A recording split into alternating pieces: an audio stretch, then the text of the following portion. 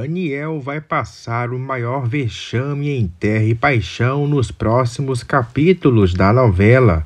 O advogado assina o atestado de idiota ao cair em uma nova trapaça de graça. Desconfiando de que está sendo enganado pela noiva, ele já a colocou contra a parede diversas vezes no último embate, ele exigiu que a moça apresentasse uma prova da gravidez. O que ele nem imagina é que, para engravidar, Graça recorreu a Marino.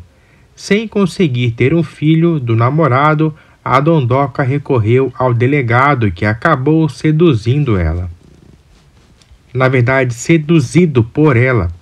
Em cenas que vão ao ar, na próxima semana, Graça diz a Irene que, pre que pretende né, comprar um exame de ultrassom para confirmar a gravidez. Ela quer dar um fim às suspeitas do noivo de uma vez por todas.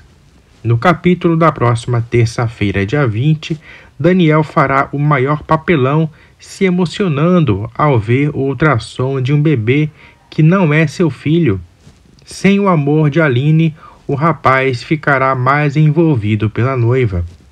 O irmão de Caio acabará convencido pela mãe a aceitar o casamento com Graça depois que Antônio elege de vez como seu sucessor.